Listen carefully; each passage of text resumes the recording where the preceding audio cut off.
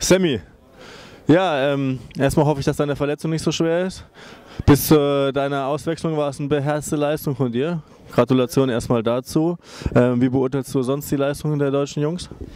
Ja, also man hat an manchen Stellen des Spiels gesehen, dass wir mit den Georgen mithalten können, aber sicherlich. Also man merkt hier, dass jeder Fehler bestraft wird bis aufs Ende. Das erkennt man auch am Ergebnis. Aber ich denke, das ist eine Leistung, auf die wir darauf aufbauen können.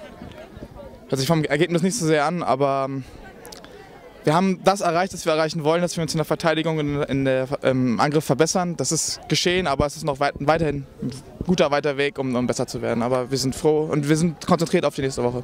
Zu dir, du hast dir die Schulter ausgekugelt, habe ich gehört. Äh, wie geht es jetzt bei dir weiter für die, für die nächsten Tage und Wochen?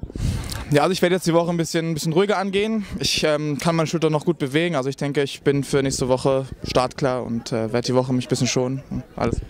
Gut, gegen die Russen ist ja noch eine Rechnung offen äh, vor ein paar Monaten, das Spiel in Hamburg. Ähm, was habt ihr euch für das Spiel vorgenommen?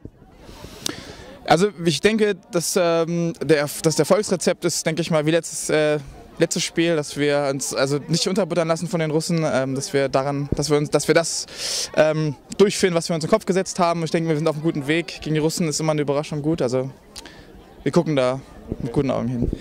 Jetzt war, ähm, äh, hatte das deutsche Sturmspiel in den beiden Hälften eigentlich zwei Gesichter gezeigt. In der ersten Halbzeit war man extrem konzentriert am Gedränge, fand ich. Ähm, in der zweiten Halbzeit hat schon etwas nachgelassen, was auch klar ist mit der zusätzlichen Spieldauer. Aber äh, vom Gassenspiel ähm, hat, hat man sich, glaube ich, ein bisschen mehr erwartet. Kannst du dazu vielleicht ein, zwei Worte sagen?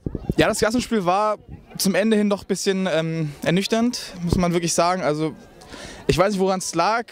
Wir haben uns in der Woche eigentlich recht gut vorbereitet in den Gassen. Ähm, aber bei den Jungs, weiß nicht, ich weiß nicht, ob es die Bälle, vielleicht denke ich mal an der Konzentration, weil das waren zum, zum Teil wirklich einfache Bälle, die man einfach fangen muss. Also das denke ich mal auch ein Punkt, in dem wir nächste Woche hart dran arbeiten werden. Alles klar, dann wünsche ich viel Erfolg. Erstmal gute Besserung für dich, Sammy, und äh, dann sehen wir uns gegen Russland.